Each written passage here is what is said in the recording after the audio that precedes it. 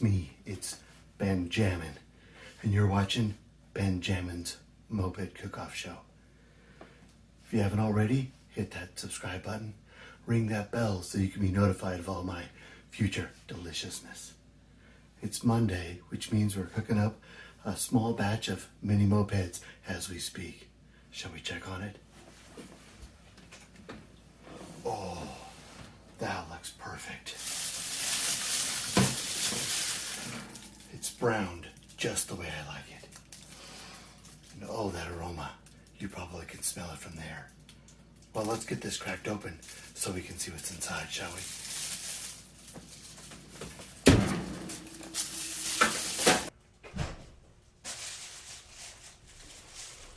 Alrighty. Remember, always cook your mopeds at 450 degrees for at least 20,000 minutes. That's how you'll get this beautiful brown glazing. Now, without further ado, let's get into this gooey innard, shall we? I'm really excited. Got my handy dandy cutter here. We're gonna just carve it up just ever so lovely. Oh,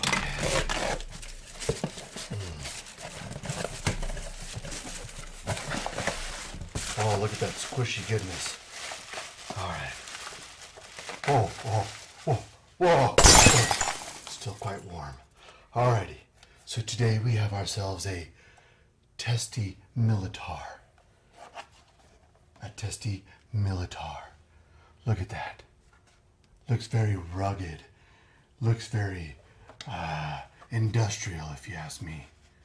It's got this really bold brown green color there. Really kind of camouflages it. It's almost really too hard to see. We have ourselves what it looks like a uh, Minarelli engine on it. It almost looks more dirt bikey, if you ask me. It's got our foot pegs.